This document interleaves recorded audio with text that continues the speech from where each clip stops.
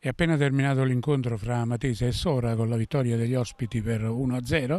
Ci rechiamo negli spogliatoi per sentire l'opinione di qualche protagonista. Partiamo dal risultato, è giusto o no? Eh, tu l'hai visto? Secondo me no. Ah, eh, manco secondo me, però eh, come abbiamo sempre detto accettiamo il risultato del campo. Noi il primo tempo abbiamo avuto tre occasioni nitide per passare in vantaggio.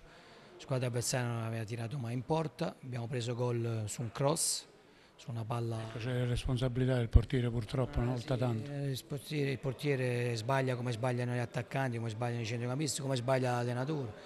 Quindi non, possiamo, non dobbiamo colpevolizzare nessuno.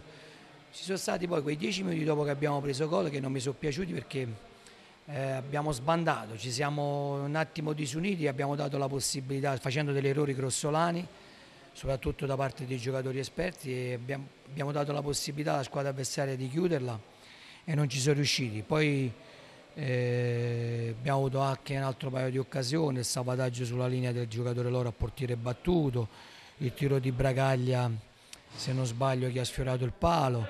Alla fine, insomma, il risultato di parità penso che, che ci stava tutto. Ecco l'esclusione di Napoletano.